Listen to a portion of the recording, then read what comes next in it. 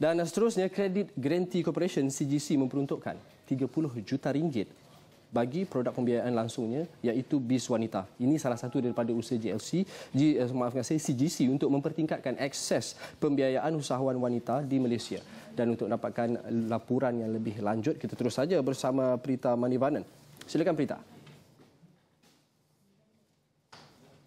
Baiklah, terima kasih studio. Saya sekarang berada di Sasana Kijang bagi majlis pelancaran BIS Wanita yang baru saja berakhir. BIS Wanita merupakan produk pembiayaan langsung kedua yang dilancarkan oleh Credit Guarantee Corporation CGC dalam tempoh 18 bulan. Ini merupakan satu inisiatif untuk mendekati segmen perniagaan wanita. Bagi perbincangan lanjut bersama saya ialah Ketua Pegawai Eksekutif CGC Encik Muhammad Zamri Muhammad Ishak. Hi, sir. Hi, thank you.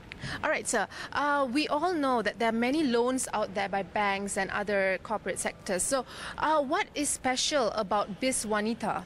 Okay, what is special about BIS Wanita is that it is a product dedicated for women and women only and uh, we started with a scheme with a fund size of 30 million ringgit and we hope to emulate the success of our BIS uh, Mula, which was launched last year, where we started with the same amount and it has been raised to 65 million.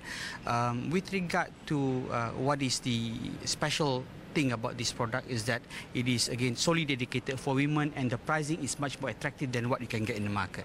Okay, since you said the pricing is attractive, so what's so attractive about the pricing? Elaborate more. Okay, the rate that we are charging is BFR as low as BFR plus 0.2%. Currently, BFR is 6.85%. So if, if you able to add up 0.2, it is netted uh, 8.05. And the maximum is BFR plus 1.65%. All right, sir. What is the problem women entrepreneurs are facing out there to get loans? Because we can see a lot of loans, uh, as again, banks and corporate sectors giving loans out there. So, what what are the problems women entrepreneurs are facing that you had to launch BIS Wanita? Okay. Now, if you look at it, yes, there are many products available in the market, not only for for women but also for the general public.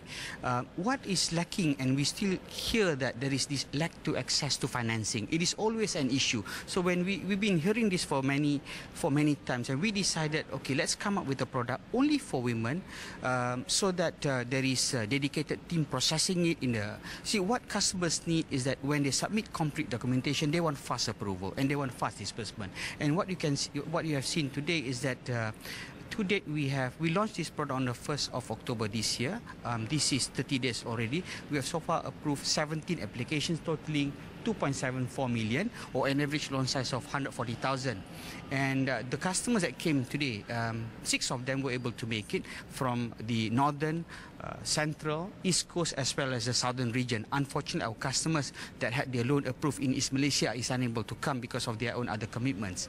Now and with the take up rate being at 2.4 million 2.74 million ringgit just after one month we are optimistic that the take up rate of this product will be good and we hope to be able to reach out to more women entrepreneurs.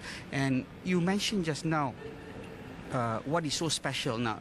This is talking about women who want to enter into business.